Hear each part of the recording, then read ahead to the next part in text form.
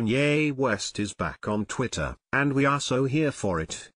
The outspoken rapper returned to social media April 15, and like we expected, he didn't hold his tongue. Amid Khloe Kardashian's cheating drama with her baby daddy Tristan Thompson, Yeezy took to Twitter to give Coco's ex-husband Lamar Odom a very special shout-out. And while we think the tribute is touching, Kanye's wife Kim Kardashian did not approve.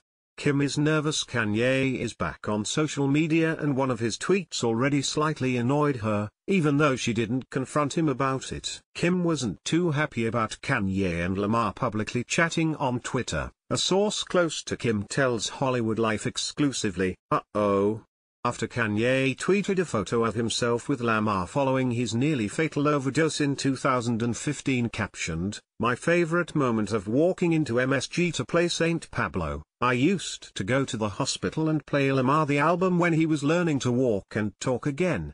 Then we walked into the arena together, Lamar responded with an even sweeter message. Glad I could be there for you bro like you came through 3 me. It was a big stage to be on after everything I went through but it was worth it, Lamar tweeted. So, that's what Kim was referring to when she said chatting. She hasn't forgotten how Lamar embarrassed her family by overdosing in the brothel, and she would rather Kanye not chat with him somewhere the entire world is watching. Our insider continued. Kim definitely has a good point. After all, Lamar put Khloe through a lot. However, Kanye's message to Lamar isn't the only thing that has his wife worried. Kanye back on Twitter has Kim and the rest of the family on edge and on high alert.